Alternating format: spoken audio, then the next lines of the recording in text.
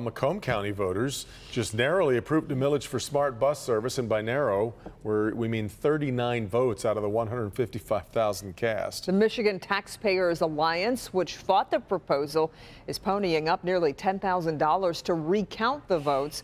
The group filed its request for a recount late this afternoon. I don't think that there's necessarily any funny business that went on, but this is such a close election. The closest countywide election in Macomb County history that 39 votes is one one hundredth of 1%. People have a right to know for sure. Well, now the Macomb County Clerk will set a date and time for the recount to begin. That'll be likely in the next three weeks or so.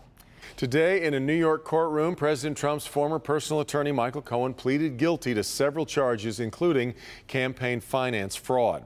Cohen says he made payments to adult film star Stormy Daniels and Playboy model Karen McDougal at the direction of the president.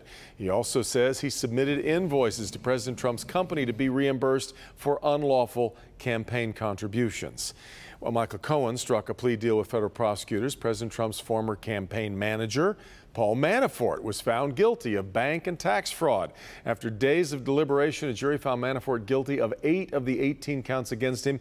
Uh, the jury, however, was deadlocked on the other 10 charges, and a judge declared a mistrial for those. We'll wait and see if prosecutors wish to try them again. Now, earlier this evening, President Trump commented on the guilty verdict. I feel very sad about that. Uh, doesn't involve me, but I still feel, uh, you know, it's a very sad thing that happened. It's a witch hunt and it's a disgrace. Paul Manafort's case was the first case brought by special counsel Robert Mueller to go to trial.